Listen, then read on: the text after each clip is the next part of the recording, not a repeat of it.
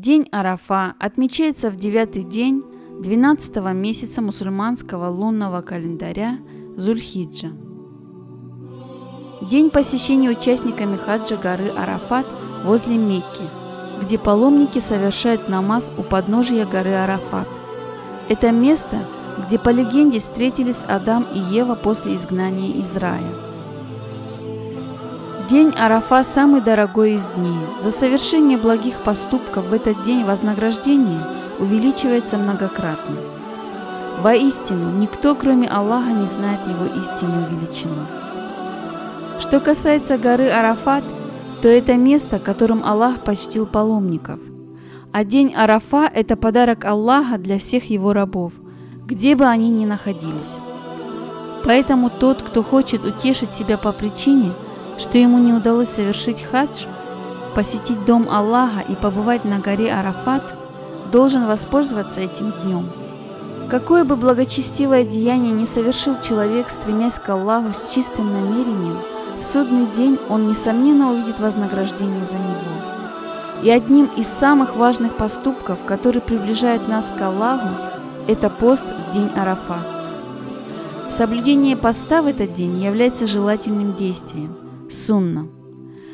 В достоверном хадисе, переданном муслимам и другими учеными, говорится, что когда пророка, мир ему и благословение спросили о посте в день Арафа, он сказал, «Грехи того, кто будет поститься в этот день, смоются за предыдущие и последующие годы». Мать правоверных Айши, да будет доволен ею Аллах, сказала Масруку, да будет доволен им Аллах, «О Масрук, не слышал ли ты, что посланник, мир ему и благословение, сравнивал пост день Арафа с постом в тысячу других дней? От Байхаки и Табарани. Имам Рамали поклялся, что пост день Арафа смоет большие и малые грехи обоих лет. Но грехи перед людьми смоются лишь после того, как обидчик попросит прощения у тех, кого обидел. В этот день могут не поститься больной и путник, при трудностях. Если нет трудностей, можно поститься. Тому, кто совершает хадж, в этот день желательно не поститься, для того, чтобы иметь силу для богослужения на горе Арафат. Достоинство стояния на Арафате. Все паломники, совершающие хадж, в этот день собираются на горе Арафат. Стояние на Арафате является самой основной частью хаджа. Без этого хадж недействителен. Стоянием на Арафате считается нахождение на горе Арафат хоть один миг девятого дня Зульхиджа, то есть дня Арафата, в промежутке от полудня до рассвета следующего дня. Сбор на горе Арафат является самым крупным ежегодным сбором в исламском мире. Здесь собираются разнообразные приближенные любимцы Аллаха – Будалай, Утбу, Автады – сиддикини, мукарибуны, алимы, имамы, мударрисы, захиды, поминающие Аллаха, щедрые, любящие Аллаха и Его посланника, мир ему и благословение, мусульмане. Здесь не спосылаются блага и милости Аллаха, которые нигде в другом месте и никогда не не спосылаются. В хадисе говорится – Таким опозорившимся, исхудавшим, униженным и разгневанным сатану не видели, кроме как день Арафа и в день битвы при Бадре. И это из-за того, что сатана видит, как на мусульман не спосылаются благо и милости от Всевышнего и смываются их грехи. Здесь смываются большие грехи, которые нигде в другом месте никогда не смоются. Есть хадис – Самый большой грешник – тот, который, находясь на Арафате, думает, что его грехи не смыты. От Хатиб Дайлами. В этот день поминают Аллаха так, как никогда и нигде не поминают. Больше Ему поклоняются, больше молят Его.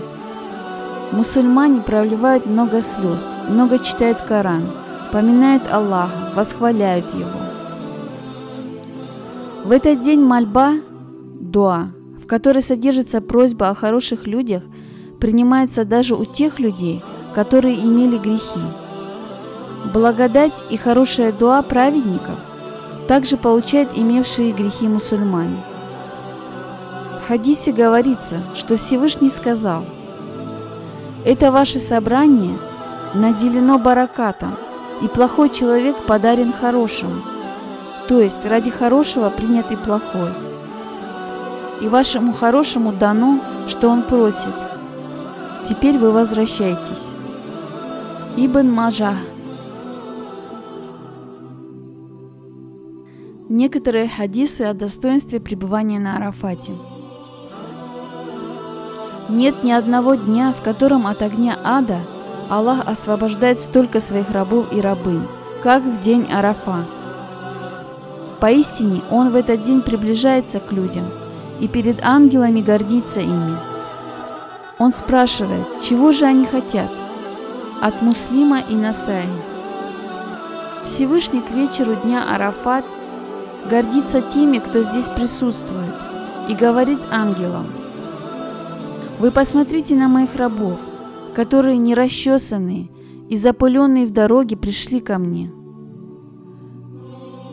Значение стояния на Арафате Когда увидишь множество людей на Арафате и услышишь, как они следуют своим предводителям, нужно вспомнить Арасат, место, где все соберутся в судный день.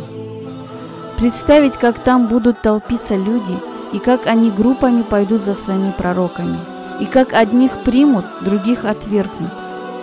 Помня об этом, постоянно держи сердце в кротости, боязни, в надежде и мольбе. Это очень ценно, ведь это день, когда сердца любимцев в Аллаха направлены к Аллаху. Если ты так будешь молиться Аллаху, есть надежда на то, что Аллах смилуется и поднимет тебя в судный день счастливым. Всевышним не спосылаются блага через сердца праведников, валиев, будалаев, автадов и так далее. Когда мысли их будут направлены к Аллаху, когда в мольбе и просьбе сердца всех будут направлены к Аллаху, когда все с возведенными руками, благоговея и пьянее от любви к Аллаху, обратят свои взоры к небесам, когда в надежде на милость их шеи вытянутся, когда раздадутся плачущие голоса, когда все вместе будут просить о милости Аллаха, ты никогда не думай, что милостливый Аллах оставит их надежду несбывшейся, что их дуа будут безответными и их просьбы будут отклонены. Труд окажется бесполезным, и что Всевышний на них не ниспошлет блага и милости, в которых они будут погружаться.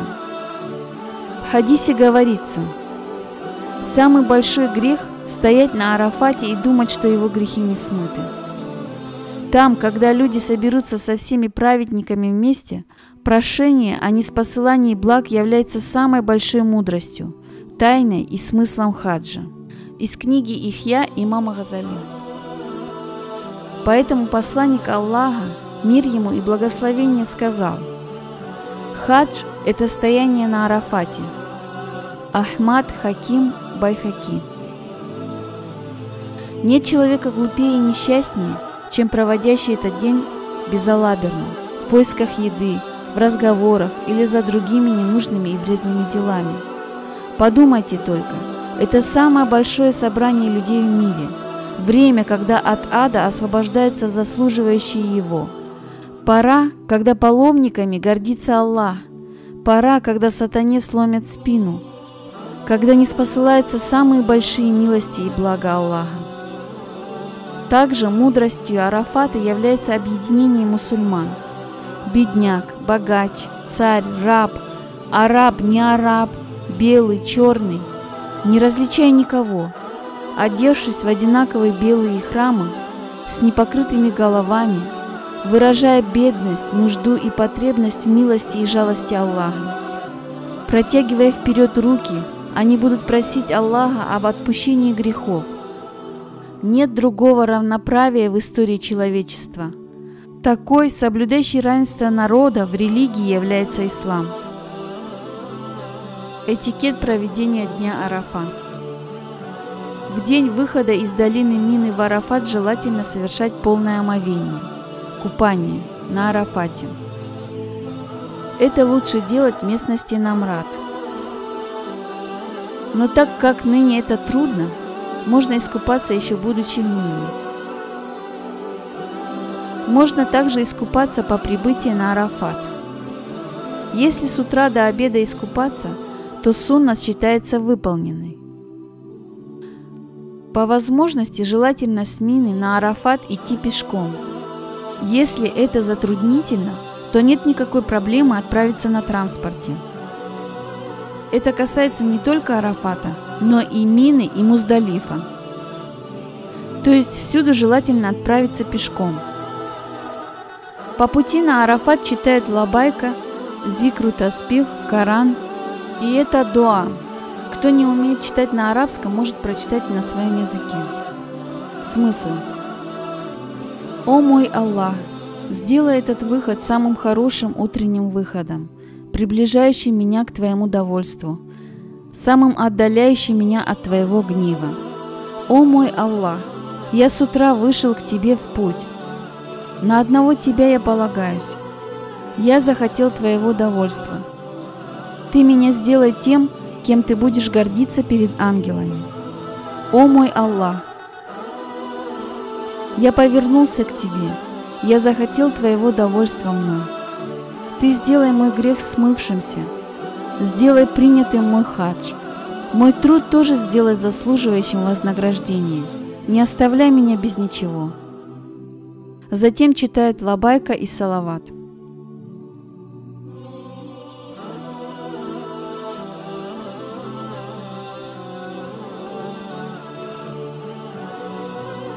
В день отправления на Арафат как можно больше нужно защититься от греховного и сомнительного.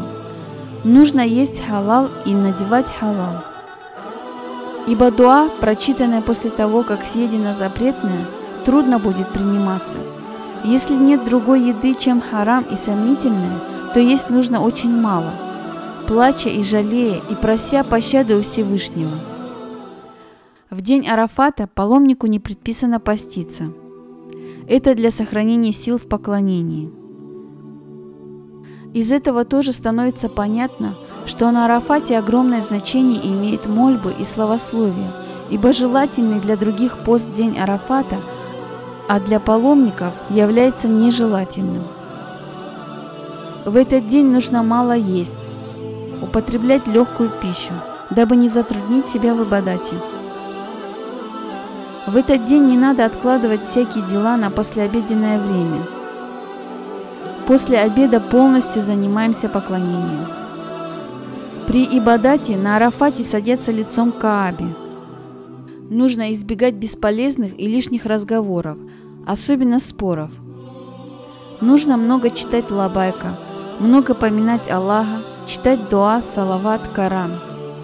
При чтении дуа не ограничивается только собой. Нужно упоминать родителей, родных, близких, друзей и всех мусульман.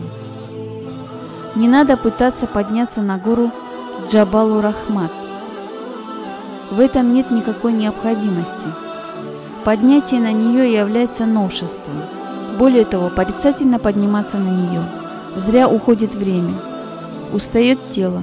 Солнечная жара ослабляет человека, и даром тратится самое драгоценное время для поминания Аллаха. Желательно сидеть, повернувшись лицом к кибле. Пребывание на Арафате должно пройти в поклонении Аллаху.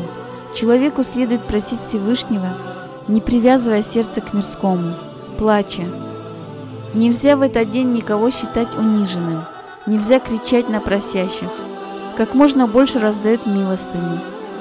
Во всех нужно видеть любимцев Аллаха. Говоря вкратце, в этот день, начиная с обеда, нужно, уберегая тело от всего противоречившего шариату, очистив сердце от мирских забот, привязав тело и сердце к поклонению Аллаху, читать тасбих, Субханаллах, Тахмид, Альхамдулилля, Зикру Такбир, Аллаху Акбар, Лабайка, Коран, Салават пророку, мир ему и благословение. Прося смывания грехов, всего себя отдавать этим деяниям. Арафат очень восхваленное место. Не всем дается благо находиться там. Возможность пребывания на Арафате является величайшим благом, за которые и нужно воздать хвалу. Хотя в полной мере мы никогда не сможем этого сделать. Каждый миг, который здесь упускается зря, для разумного ценнее всего мира и всего, что в нем есть. Упущение одного мига равноценно потере всего мира. На Арафате нужно надеяться на жалость, прощение и милость Аллаха, на то, что Всевышний смоет грехи наши. По наидостоверному слову имама Шафи, желательно объединить этот день и ночь на Арафате. Есть ученые, которые говорят, что это фарс. После захода солнца до полного исчезновения зарева лучше оставаться на Арафате. При возвращении с Арафата вечером нужно быть очень вежливыми, и в ожидании транспорта тоже не надо отвлекаться на мирские разговоры, а нужно читать лабайка, салават, Коран или дуа. Сообщается, что посланник Аллаха, да будет доволен им Аллах, сказал, «В день Арафа Аллах Всевышний смотрит на своих рабов и прощает тех, в чьем сердце есть вера, размером хотя бы в малейшую частичку. О Аллах, сделай нас из тех, в которых есть эта маленькая частичка веры. Аминь.